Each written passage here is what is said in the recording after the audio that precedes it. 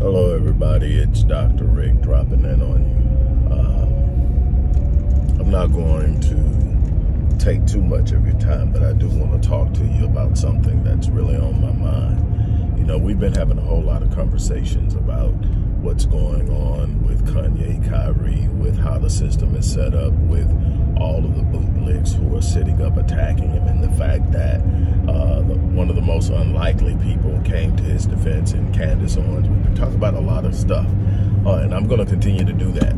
Also, I am going to start to uh, phase out the inspirational content on this site and it's it's already on another site and I'm going to start moving it slowly uh, moving that stuff over there. The one thing that I will keep are the theme days, you know, Money Mondays and all that. I'm going to keep that here, but all the other stuff, uh, I am going to move to, uh, or continue to just let be there. And we're going to go back to really being focused on black issues here primarily. Uh, not that I don't think that we need that uh, we need that just like anybody else. We need to be on our game. We need to be as an individual at the top of our game. Uh, but I want to make sure that the people who are coming here to get a specific thing get it. So I'm going to connect all of you guys to my uh, Visionetics Institute, uh, which is uh, the name of the channel is the Dream Matrix, but it's, from the, it's from the Visionetics Institute. I'm gonna connect you guys to that. Uh, and I will consistently share the link so you can go over there if that's what you want. Uh, you can get that too.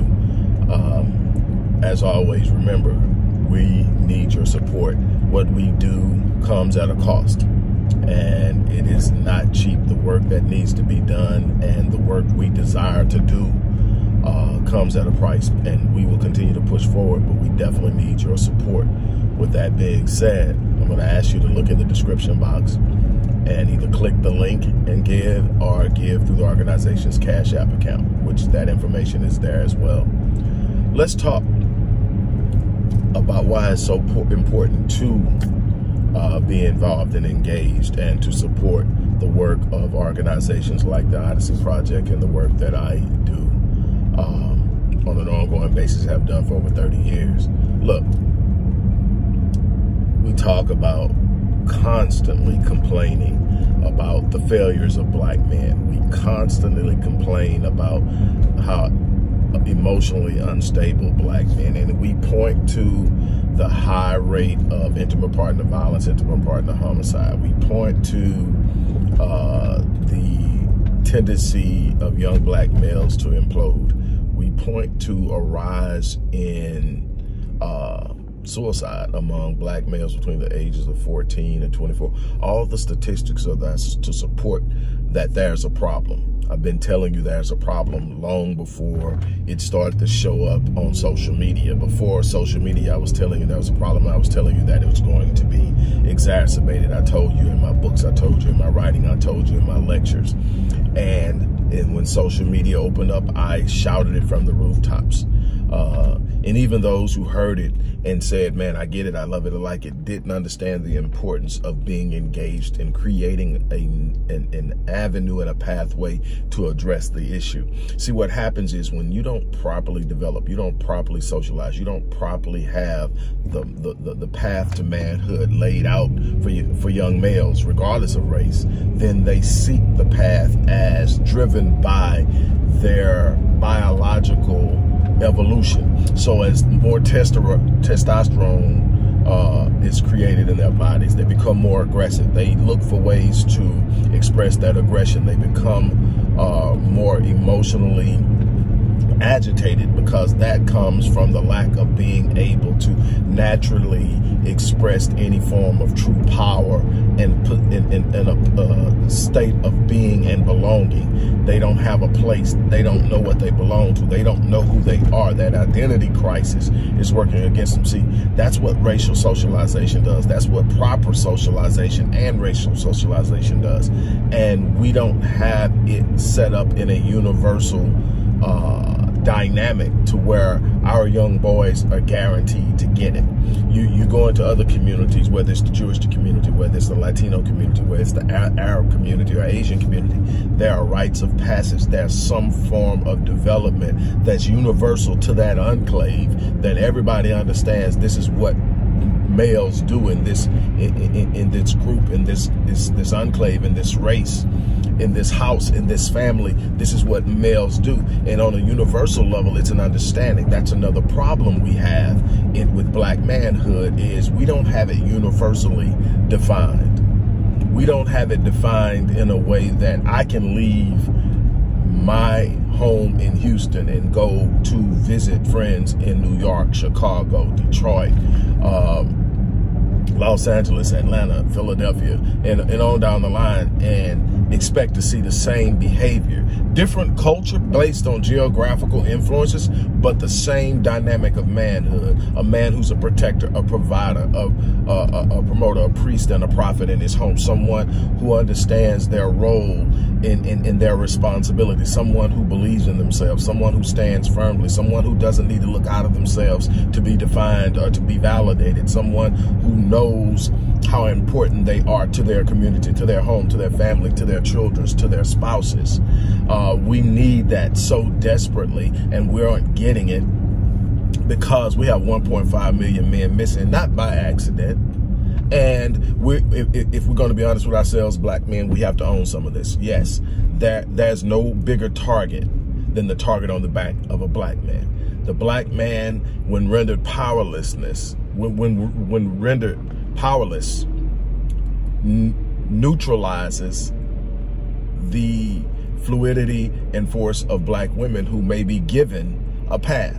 So in other words, the reason why you can see a lot of black men, black women who are becoming extremely successful is because they understand historically that no matter how uh, wealthy she becomes, no matter how what, there's a certain level of power and, and, and mobility she cannot create without the presence of male force. And I've always said it this way, that we will only get as high as our women can spiritually lift us, and we will only get as far as our men can physically lead us. And it's more complex than that. But at the end of the day, the bottom line is this is what we are going to have to push for. We're going to have to stand up. We're going to have to sit up and say, look, no, I'm not one for giving passes. Yes, there's culpability on all sides. Yes, there's failures on all sides. But right now, I am so concerned about the current state of black men. The, the fact that we have jumped 49% in suicide rates for black males between the age of 14 and 24. That is an astronomical jump in a six, six year period. Okay, not to mention uh, the violence. You know, violence is a part of the poverty dynamic, number one. So uh, the fact that there's violent violence in the hood isn't like some phenomenon. It's a natural uh, result of a lack of resources.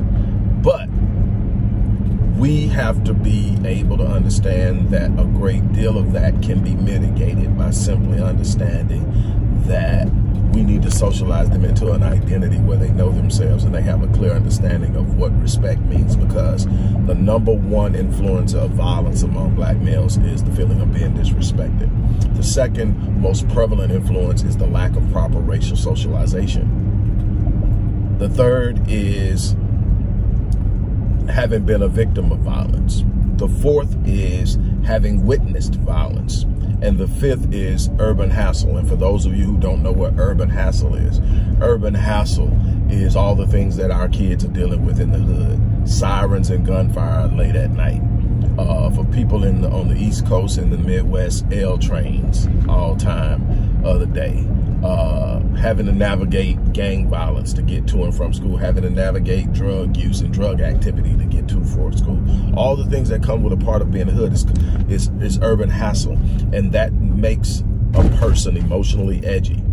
Uh, you add in the fact that there's no proper socialization and clear understanding of what's happening when they're going through the changes from puberty to adolescence, and they are starting to produce testosterone in high levels, and they're acting out what their body feels without having a clear understanding uh, emotionally, psychologically, and historically of what they're supposed to be doing with those changes.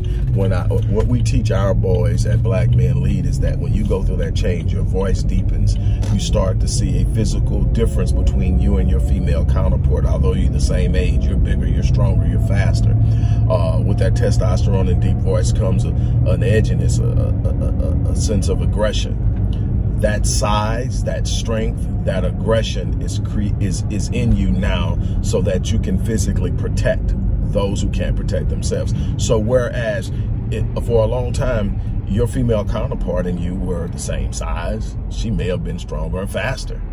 She may have been able to beat you up. But what happens as you get you you move into this? Now you're moving into the demands of manhood. One of the physical demands is to protect. Now, beyond the protection is also the covering. So the covering includes protection, but it includes protection outside of the physical realm. So you're supposed to cover them emotionally, spiritually. You're supposed to cover them in a space that gives them the confidence and the security to spread and expand themselves and do things as uh, they are designed to do and, and walk in the power of their feminine energy we have such a major role that we don't understand. And then we also have simultaneously the teachings that we don't need each other, that we can execute who we are without the other, but that's not the design. And anytime you take anything outside of its design, you diminish its capacity, period. You can use a shoe for a hammer, but it's not going to be as good of a hammer as a hammer, and it's not going to be as good of a shoe as a shoe if you keep using it. You're going to you're going to damage it.